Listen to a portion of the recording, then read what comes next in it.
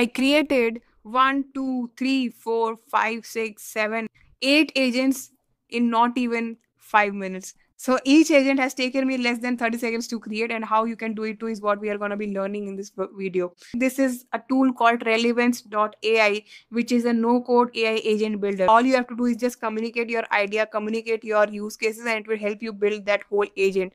So you can see the first agent is about in HR interview preparation agent. So this is capable of having the tools of access of you can see here I've given access to PDF, LinkedIn and search and then again LinkedIn now, Sage, the book summarizer, you just put the name of the book you want to summarize, have summarize summary for, and you this will do the Gemini Google search, and it will give you the summary of the particular book, so that you don't have to go through the book mentor the skill development agent. So basically if you want to have a accountability partner a coach who can actually help you to mentor to increase your skills this uh, agent is capable of doing that and that's what i've built this.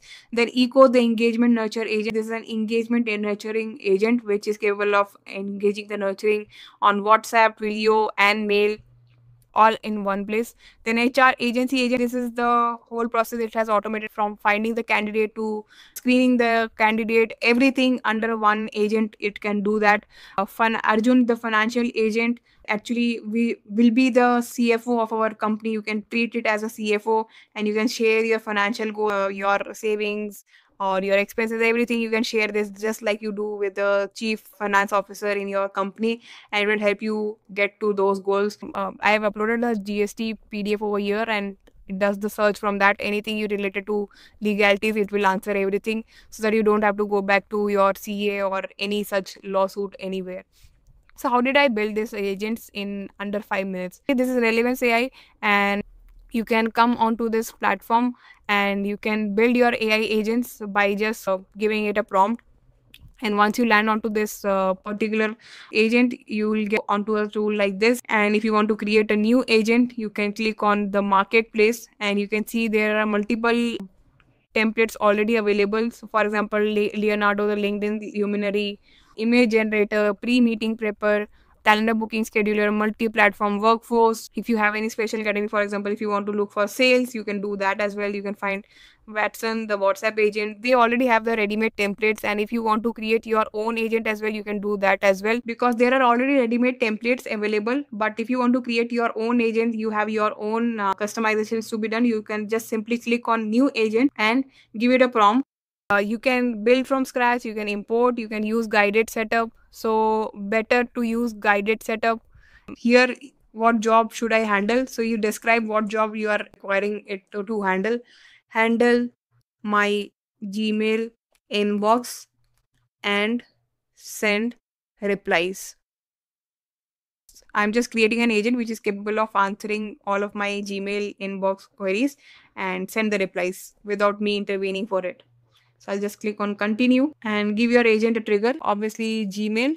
So I'm giving the access to Gmail, Gmail and make sure you use the uh, ID which you want to give access to. Just follow the steps. It is asking simple as you connect your Google account. You click on complete and click on continue give your agent a trigger gmail is the trigger and click on continue again this is my idea of your use case could be different i'm just creating it for the showcase for the demo purpose what should your agent do?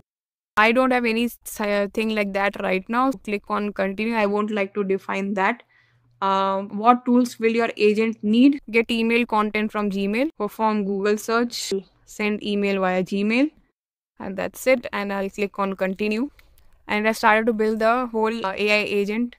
And it will be now capable of uh, reading my incoming emails and send the reply without me intervening for it. So now this agent has done the work and it is asking me to accept all, connect your accounts, add recurring schedule, test and review, accept all, select the account, click on continue, the sender's name that should appear, the Google account to use, click on continue, whatever it is asking of for, just click on provide the, those information and click on continue.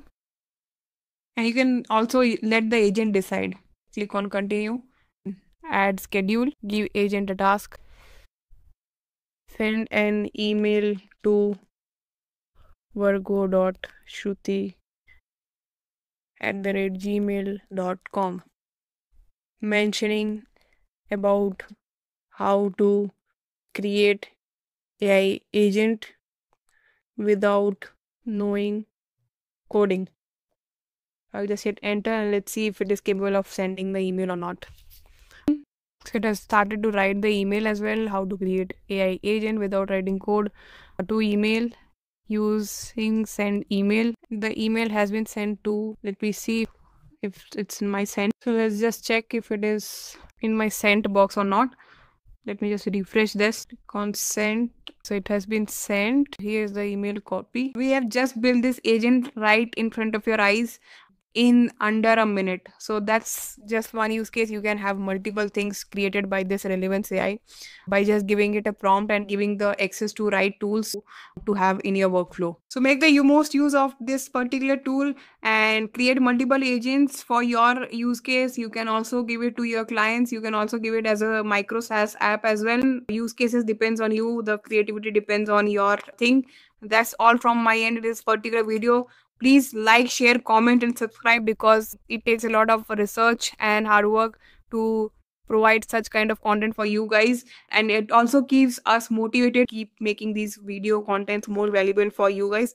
Only if you show some love in the comment section in the like and share it as well. Uh, receive love from you. And that's all from my end. And let me know your learnings in the comment section as well. And i'll see you in the next video